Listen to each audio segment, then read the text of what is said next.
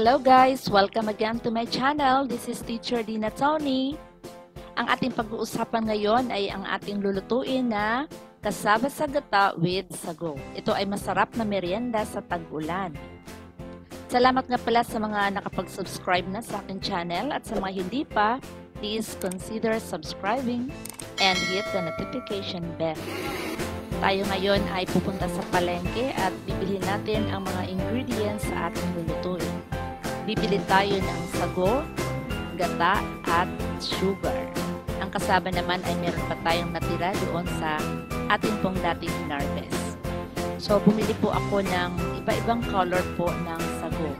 Ito ang yellow, green, and red, primary colors. So, tig 1 cup po siya ng each color. So, bawat cup ay mura lang naman siya, 10 pesos.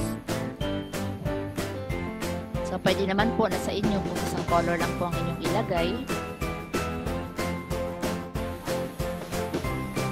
Ayan, at kabili na tayo. Binayaran na natin ng si Ateng. Ayan, pinapadoble ko baka kasi ibigay. Okay. So, ngayon, ihanda naman natin ang ating kasaba. Ang ating pong nilagay ay mga limang katamtamang piraso. Ta hiniwa po natin sa yung bite size lang po at tinanggal natin yung matigas na nasa gitna. Pagkatapos natin hiwain ay syempre ating pong hugasan. Ito naman po lahat ng ating ingredients, yung tatlong color na sago, gata, at 1 cup sugar. Yan po ay timpla ko po na matamis. Sa mga hindi matamis ang timpla, gawin nyo na lang pong 1 half cup of sugar. Pwede naman po white sugar ang gagamitin. Ayan, inilagay na po natin ang ating kasaba sa kaldero. Susunod naman natin ilagay ang gata.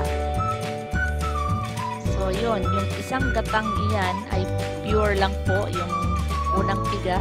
So, kulang po siya. Po siya nakakaapaw. So, ginawa ko po ay dinagdagan ko po ng tubig.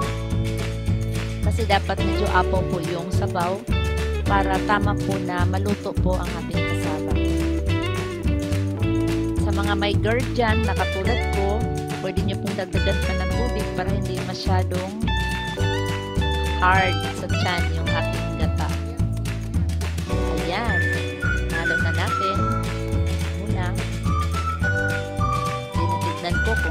na ba yung sabaw niya. Okay, so takpan natin and pakuluin. Palambutin.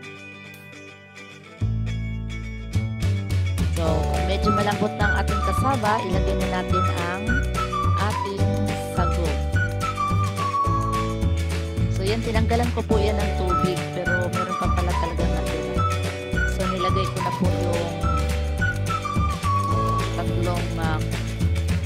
color ng sago.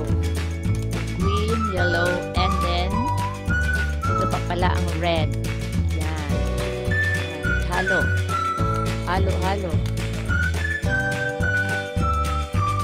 So, ang sago naman po ay luto na eh, kaya hindi na siya kailangan hindi na sobrang tagal ang pagluto.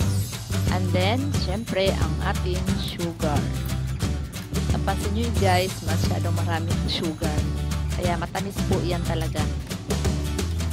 Matamis ang aking timpla. Yan, atin po siyang hinalo. At after a few minutes, luto na po siya. Make sure po guys na inyong kasaba ay malambot na bago ninyo i-off ang inyong uh, gas or yung apoy. So, malambot na po siya. And now, ready to serve na po siya. Mainit nga lang po. Pwede naman po natin na palamigin. Pero excited na ako. Gutom na. Ayan. Makain na ang aking mga junakis habang sila ay may ginagawa. Eto, medyo naiinitan siya kaya hindi masyadong hindi kagad-agad masubo. Mas mainit pa. Medyo may kalagkitan gawa ko ng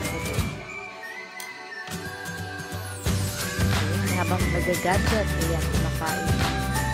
Ayan, si Habi. Ganadong ganado kumain. Ayun, nasarapan. Kaya napasayaw.